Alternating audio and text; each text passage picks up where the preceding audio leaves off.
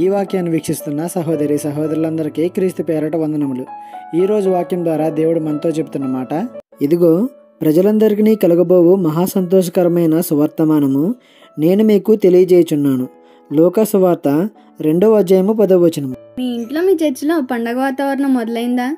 ప్రతి సంవత్సరం ఇదే తీరు జరుగుతుంది కదా. క్రిస్మస్ అంటే ఏమిటి? ఏసే పుట్టినరోజు. అంబరానికి అంటేలా సంబరాలు చేయాలి అంతేనా? కానీ ఇవి చేయాలని ఏసే పుట్టలేదు. మరి ఏసే ఎందుకు పుట్టాడని ఎప్పుడైనా ఆలోచించారా? ఆయన పుట్టుక వెనుక ఉన్న కారణం ఏమిటో ఆయన ప్రణాళిక ఏమిటో ఎప్పుడైనా తెలుసుకోవాలని అనుకున్నారా?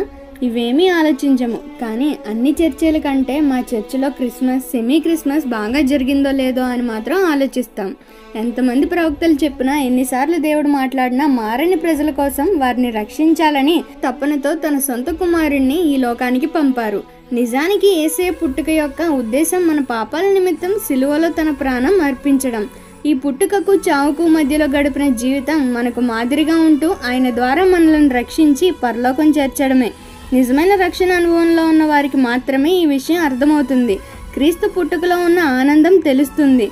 మరి మీ రక్షణ నిజమైందా లేదా భ్రమపరిచేదా? ఈ చిన్న సువార్త పరిచర్యలో మీ సహోదరులు. God bless you. ఆమెన్.